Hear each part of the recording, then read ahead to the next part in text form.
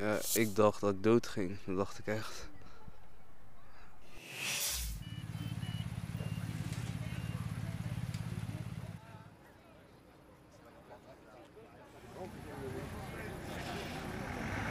Sorry.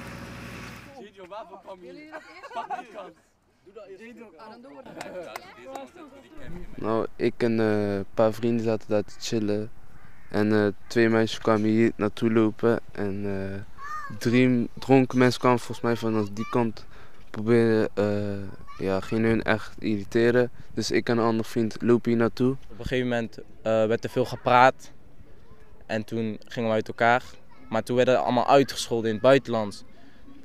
En toen kwamen ze bij elkaar om nog een keer te praten en ineens haalde die man mijn vriend uit. Hij gaf hem gewoon een paar stompen op zijn gezicht. Zomaar eigenlijk. Ja, eigenlijk zomaar, want er was eigenlijk geen probleem voor ons. En toen kwam hij naar mij toe gelopen, sloeg hij mij. Dus ik sloeg gewoon terug. Al mijn vrienden helpen mij. Daarna trok die man een mes, maar ik voelde het niet dat hij mij stak. Toen, toen deed hij zijn kraag opzij en toen zag ik dat hij een steekwond had. En toen viel hij ineens op de grond en toen ging ineens alles mis. Want een vriend van mij keek ook en had een steekwond in zijn rug. Een meisje had een steekwond in haar been. Dat had ik helemaal niet door. Ik voelde het ook gewoon niet.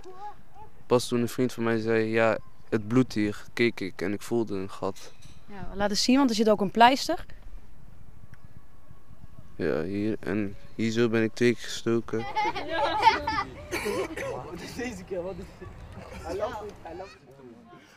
Hij had een rode hoodie aan, hij was een beetje getint. Hij had een baardje. Ik rook alcohol uit zijn mond toen hij voor me stond. Dus ik denk dat hij gewoon dronken was. Flesjes drinken gooien, ehm, uitschelden. Gewoon dicht in de buurt komen en zo.